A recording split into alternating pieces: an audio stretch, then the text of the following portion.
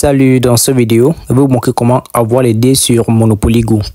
Dans cette vidéo, je vais vous montrer comment j'ai quitté de 9, regardez très bien, quitté de 9 à 509 dés sur Monopoly Go.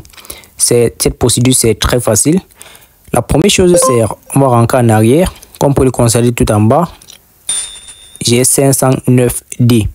Donc, pour obtenir les dés sur Monopoly Go, on va partir dans la section menu tout en haut. Et ensuite, ici, on va cliquer sur les paramètres. Cette procédure, c'est une nouvelle procédure. On va cliquer sur cette option qui dit service client. Le voici.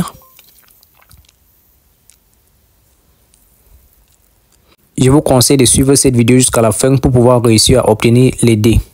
Dans cette section, vous allez défiler à droite. Vous allez défiler à droite jusqu'à vous trouver cette option qui dit à propos du plateau des jeux. Vous allez cliquer et ici, tout en bas, ça dit comment puis-je obtenir des lancers. On va cliquer au-dessus. Et ici, Monopoly Go donne les étapes à suivre pour pouvoir obtenir des lancers. On va défiler jusqu'à on retrouve cette option qui dit, voici l'option qui nous intéresse, c'est-à-dire invitation des amis. On va rentrer en arrière, vous montrer comment inviter des amis et avoir les dés. On va rentrer en arrière. Ici, on va cliquer sur la section amis.